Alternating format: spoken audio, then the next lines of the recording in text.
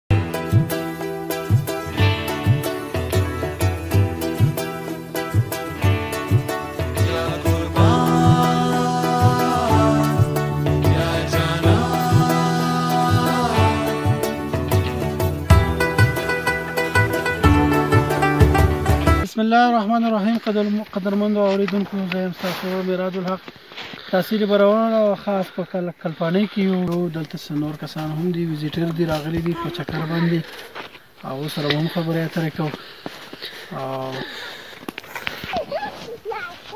دا ټیم زموږ سره یو ورو ولاړ دی دا هم چکر ته راغلی دی ګورو چې دا کوم ځای نه راغلی دی او څه مزو اخیستو لپاره راغلی دی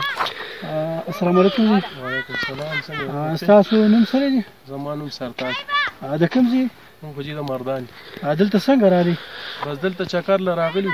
چکر له راغلي او مونږ وی راشه دا علاقه به لږ وینو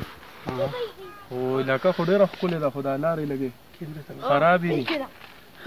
او چې بس دا څنګه چې له وارو نه خوشاله شوې که نه ډېر مزیدار ځای دی او ډېره ښکلې سیندریم ده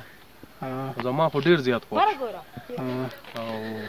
کوشش به کوو چې بیا به هم دلته راځو بیا به هم راځو نور څه کمیرې محسوس کو دلته څه کمیرې بس دا کمیرې چې دا لارې لګې خرابې دي سړک خراب دی سړک خراب دی حکومت له پکار دی چې دا لکه دې لګه توجه ور حکومت له پکار دی چې دې لا دا لکه جوړ کی دا جوړ کی دې لا نور څه سہولیت نو هوټل هو پکې هم نشته ځکه چې هوټل اخو د برول